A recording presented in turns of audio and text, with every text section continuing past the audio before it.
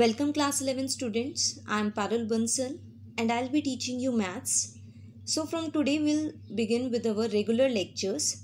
So let me first of all tell you about the syllabus and the book which you have to prefer. So in your syllabus we have 16 chapters, right? All these 16 chapters and we will be covering 9 chapters in this first semester and the book which you have to follow is your NCERT book. So today we'll start with the chapter first sets.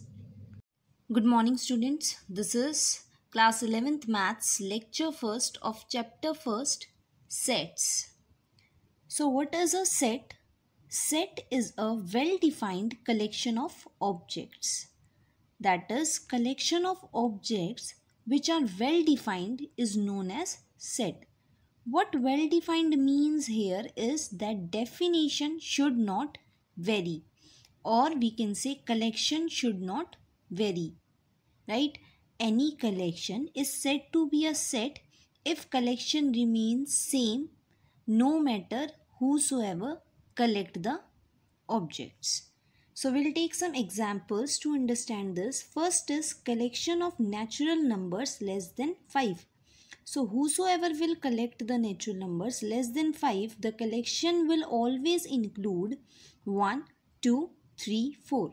So we can say this collection is a set. Next is collection of 4 interesting books. Now this collection is not a set. Why? Because as collection can vary from person to person as different persons have different choices, right? So this collection is not a set.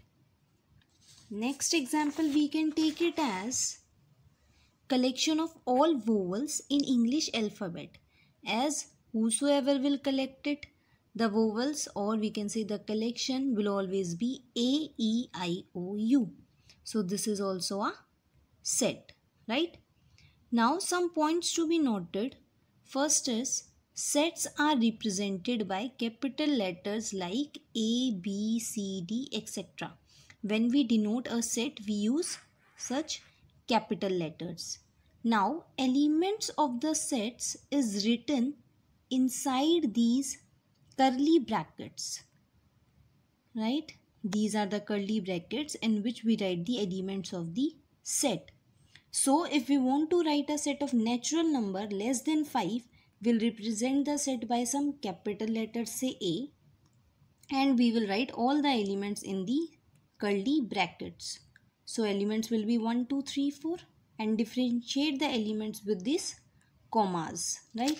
Now here 1, 2, 3, 4 are the elements of the set A as these numbers belongs to this set, right? So these numbers are elements of set A. Now as 1 belongs to A, in mathematical terms we can write it as 1 belongs to A. This some symbol here is a symbol of belongs to. So as 1 belongs to the set A, we can write in mathematically terms we can write it as 1 belongs to A. Right? This is a symbol of belongs to. Similarly, 2 belongs to A, 3 belongs to A.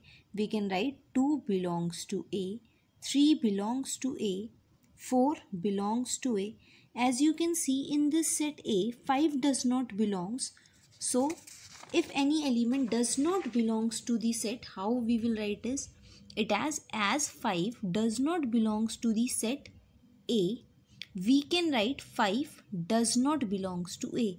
Here in mathematically terms, this is the symbol for does not belongs to, right? So if 5 does not belongs to A, we'll write 5 does not belongs to A. Now there are some methods of representing a set. We'll study two methods to represent the set. First is our roster form also known as tabular form and next is second is set builder form. So firstly we'll study roster form. What is roster form? In roster form, all the elements of a set are listed. Elements are being separated by commas and are enclosed within braces. These are the braces. right so in roster form what we have to do list all the elements separate them by the commas and write those elements inside the braces for example set of all even positive integers less than 7 is described in roster form as so now what we have to do we have to take all the even integers less than 7 so even positive integers less than 7 are 2, 4 and 6. So in roster form it will be written as this that is the elements all the elements are listed. Differentiate the elements by the commas and write the elements inside these braces. This is the form to write a set in roster form. Right? Let us take one example to understand the roster form. So write the solution set of the equation x square plus x minus 2 equal to 0 in roster form. We have to write the solution of this equation in roster form. So first of all we'll find the solution of this equation. So the given solution is x square plus x minus 2 equal to 0. This can be written as x minus 1 into x plus 2 equal to 0 and you will get the values of x as 1 and minus 2. So they have asked to write the solution set in roster form. So in roster form you will write it like this 1 comma minus 2 inside the braces that is listing all the elements separating them by the commas and writing the elements inside the braces. Clear? This is our roster form. Let us take one more example to understand roster form. So write the following sets in roster form. So first is A which is equal to X. This is the symbol for such that.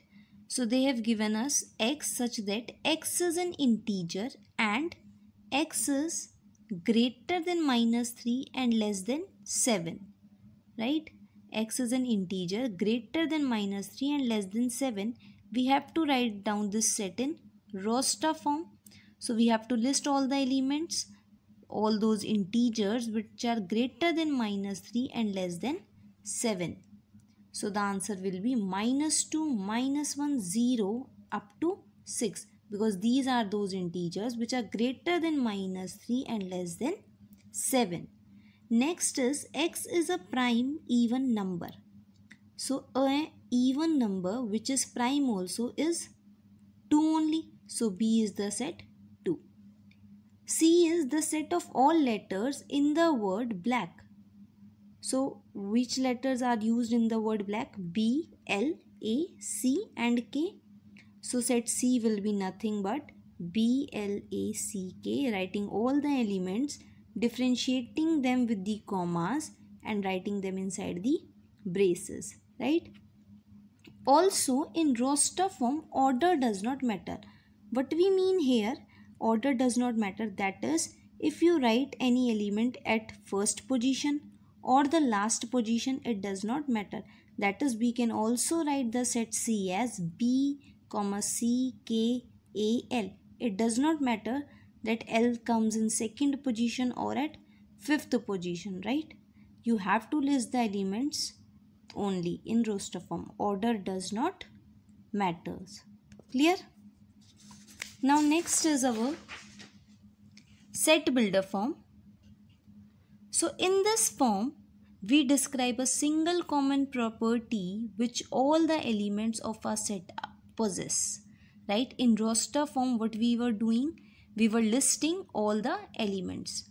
But in set builder form, we will not list all the elements. We just describe the single common property which all the elements possess.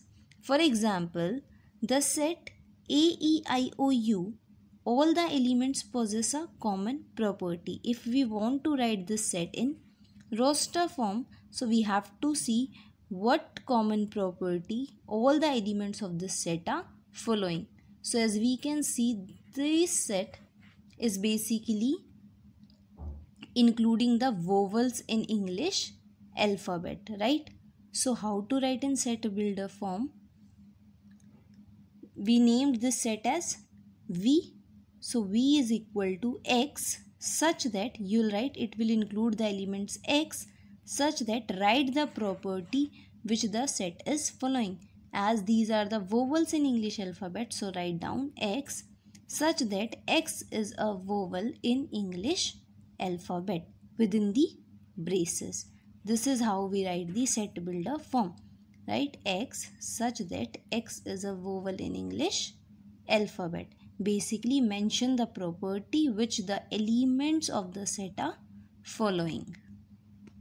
Let's take some example to understand set builder form. So we have to write these following sets in set builder form. So first set A is given as 1, comma 4, comma 9, comma 16, comma 25 and so on. So basically this set is given us in roster form right because all the elements are listed. We want to write it down it in set builder form. So we have to find the property which the elements are following. So you can see that 1 is basically 1 square 4 is the square of 2, 9 is the square of 3, 16 is the square of 4 and so on. So this set is basically the square roots of the natural numbers. So how we will write this as? So solution that set A is equal to x, x is our element such that now tell what is x? x such that x is equal to nothing but n square where n belongs to natural number right here n started from 1 right 1 2 2 square 3 square so basically x is our n square where n belongs to the natural number. Now next is set b which is 1 4 9 up to 100 it is same as set a 1 square 2 square 3 square but see as set a is not ending anywhere set b ends at 100 100 is nothing but 10 square. So now set b how we will write set b as x such that x is equal to n square n belongs to the natural number n starts from 1 and goes up to 10 because 10 square is 100 so we will write set b. Similarly as set a only but in set b also define the range of n as n is equal to 1 and greater than 1 and n is equal to 10 and less than 10 right?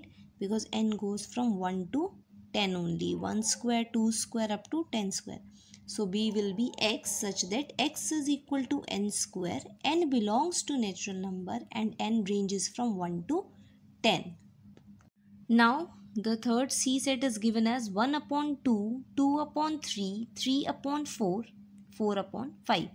So basically C is equal to x such that x is equal to n upon n plus 1. Why we have written this?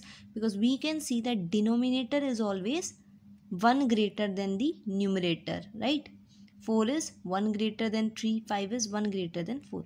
So x is basically our n upon n plus 1 here n belongs to the natural number and tell the range of n that n goes from 1 to 4.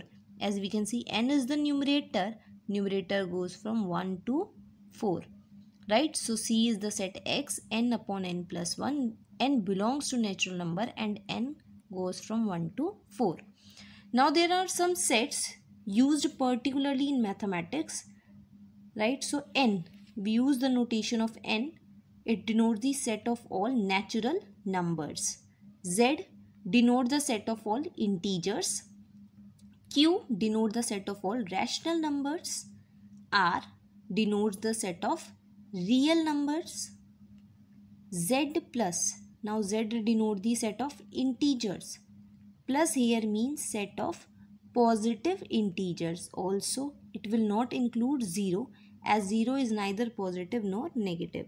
Now q plus q includes set of all rational numbers. This will include set of positive rational numbers. r plus set of positive real numbers. Clear? In these two sets also 0 will not be included. Clear? So your today's homework is that you have to complete exercise 1.1. Okay. Thank you.